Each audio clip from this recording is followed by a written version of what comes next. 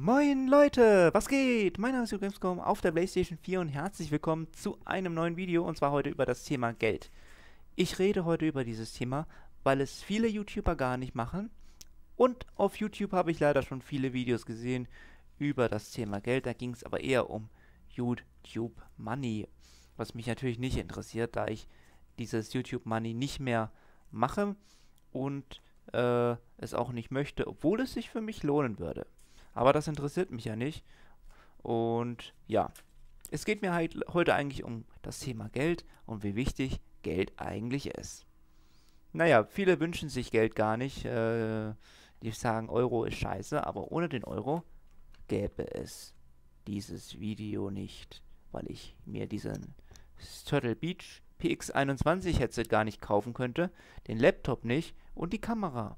Und du könntest dir auch kein Handy oder Laptop kaufen, äh, um dieses Video überhaupt zu sehen, geschweige denn die Stromrechnung bezahlen, ohne diesen Euro. Also ist das doch eine tolle Währung, finde ich. Ich finde den Euro nicht scheiße, ich finde ihn toll. Ähm, ich lege einen Großteil meines Geldes, was ich verdiene, an. Und zwar, ich spare es. Erstmal, ich habe eine Wohnung. Ne? Da braucht man Rücklagen. Das ist ganz klar. Das war mir klar, weil ich habe ja schon immer einen Traum gehabt von der eigenen Wohnung. Also von der eigenen Wohnung und nicht einfach eine Mietwohnung, wo mich der Vermieter irgendwann mal rausschmeißen kann, weil er die Wohnung für sich braucht. Nee, meine eigene Wohnung. Ne.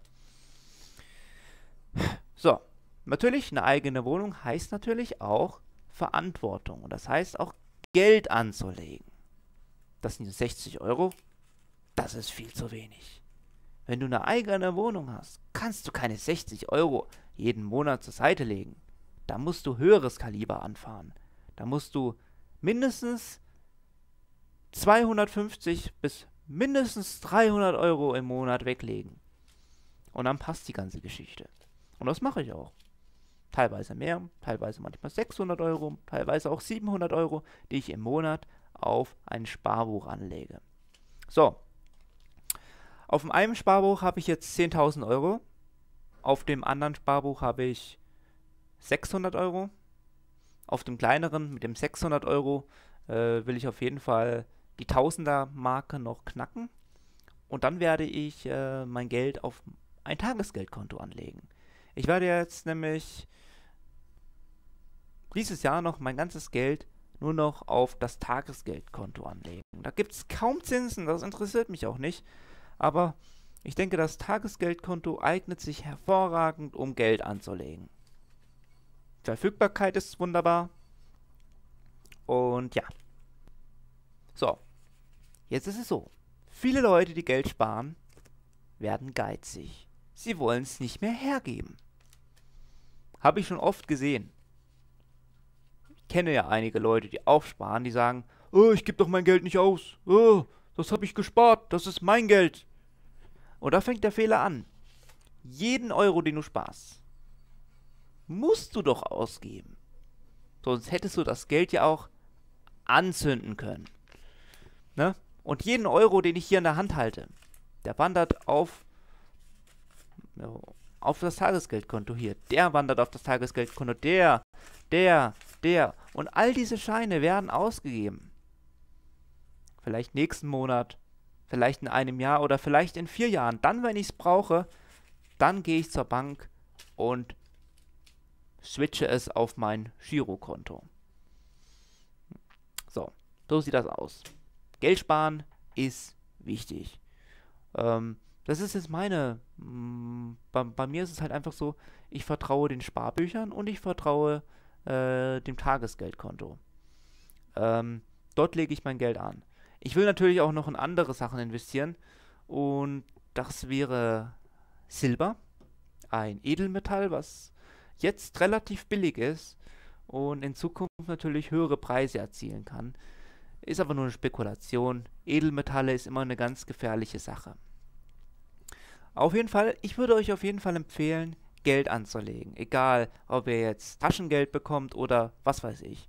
Eröffnet ein Sparbuch, ein Buch, in dem ihr Geld anlegen könnt. Ne? Das heißt, ihr, ihr beantragt dieses Sparbuch. Ähm, dort ist euer Name, Äh, und wenn ihr dann zur Bank geht, 5 Euro hinbringt, dann sind diese 5 Euro da gebucht und da steht dann 5 Euro. So sieht das aus. Das ist ein Sparbuch, super gute Sache und äh, habe ich auch. Und ja. So, so sieht das aus. Ja, warum sparen? Wieso? Vielleicht für einen Urlaub, vielleicht für einen neuen Computer oder vielleicht für wirklich, äh, wirkliche wichtige Dinge, wie zum Beispiel der Führerschein oder für die erste Mietwohnung. Oder du willst tatsächlich irgendwann mal, oder du hast irgendwann mal den Traum, ein Haus zu kaufen. Ja. Oder auch eine eigene Wohnung. Dann würde ich dir auch auf jeden Fall raten, Geld zu sparen.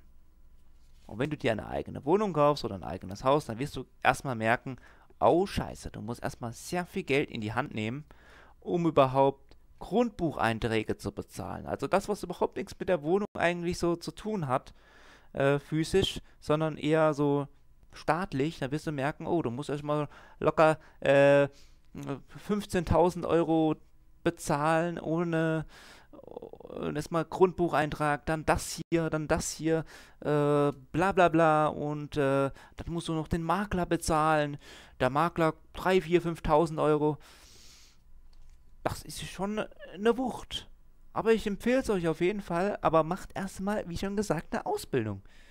Ohne Ausbildung könnt ihr den Traum nicht erfüllen, es sei denn, ihr gewinnt im Lotto, ihr gewinnt im Lotto oder seid sowieso schon reich, aber das sind die wenigsten.